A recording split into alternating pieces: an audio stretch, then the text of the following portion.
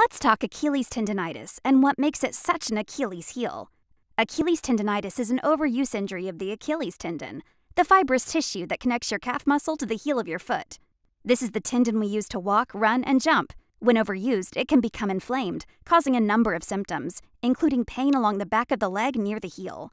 An injury to the Achilles tendon can happen to anyone, whether you're an athlete or just going about your everyday life. But men are more likely to injure their Achilles than women are. Once a diagnosis is confirmed, your doctor may prescribe rest, ice, anti inflammatories, and sometimes physical therapy. But when non surgical treatments don't help, your doctor may recommend a surgical procedure to repair your tendon. Whatever you do, don't let Achilles tendonitis keep you on the sidelines of life or the sport you love.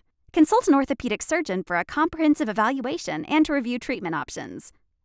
Brought to you by the experts at UPMC Orthopedic Care.